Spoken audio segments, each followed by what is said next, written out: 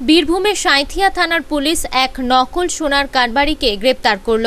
সাঁইথিয়ার একটি অঞ্চল থেকে হাওড়ার বাগনানের বাসিন্দা শেখ মুজিবর রহমানের কাছে কেউ বা কারা ফোন করে জানায় মাটি খুঁড়তে গিয়ে সোনা উদ্ধার হয়েছে। সেই খবর অনুযায়ী শেখ মুজিবর রহমান ও ইস্তাজ উদ্দিন মৃধা নামের দুজন সোনাগুলি পরীক্ষা করার জন্য দেখতে আসেন।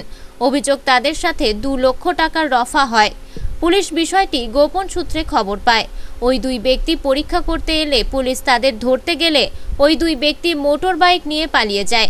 পুলিশ তাদের পিছু ধাওয়া করে হাতোরা গ্রাম পঞ্চায়েতের ইন্দিরা মোড়ে তাদের দুজনকে আটক করে। তাদের কাছ থেকে দুশো দশটি নকল সোনার কয়েন, এক রাউন্ড গুলি ও একটি মোটর বাইক উদ্ধার হয়েছে। পুলিশ ঘটনার তদন্ত শুরু করেছে। অ্যাকচুয়ালি এটা গোপন সূত্রে আমরা জানতে পারি। যেরকম হাওড়া জেলার দেউলটি গ্রামের বাগনান থানা এলাকার একজন আছে মুজিবুর রহমান। তাকে ফোন করেছিল।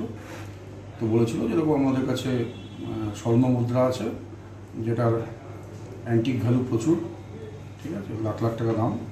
তো সেই হিসাবে আপনারা যদি নিতে চান তো ওদের মধ্যে দু লাখ টাকার জন্য এ হয়েছিল মানে রফা হয়েছিল। কিন্তু আজকে ওরা টাকা নিয়ে আসেনি ওরা আজকে দেখতে এসেছিল। আচ্ছা দু লাখ টাকা দশ পিস কয়েন কয়েন পাওয়া গেছে।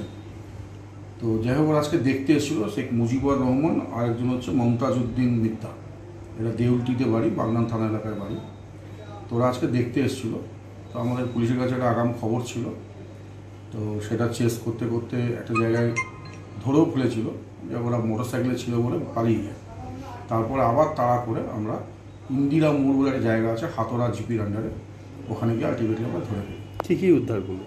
দুশো দশ পিস ফেক স্বর্ণ মুদ্রা এবং এক রাউন্ড গুলি আর ইম্প্রোভাইজড একটা পাইপ গান কান্ট্রিমেড পাইপ গান এবং তাদের কাছ থেকে একটা মোটর সাইকেলও উদ্ধার হয়েছে, যে মোটর সাইকেল নিয়ে ক্রাইম করতে এসেছিল।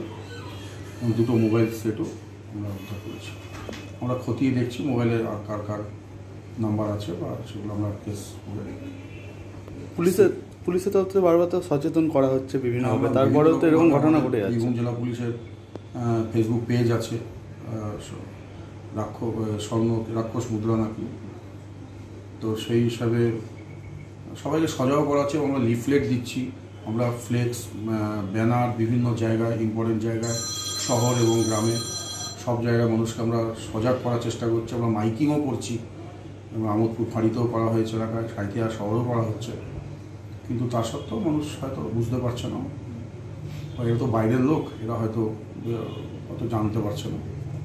বীরভূম থেকে মোহাম্মদ ফিরোজের রিপোর্ট আনন্দ বার্তা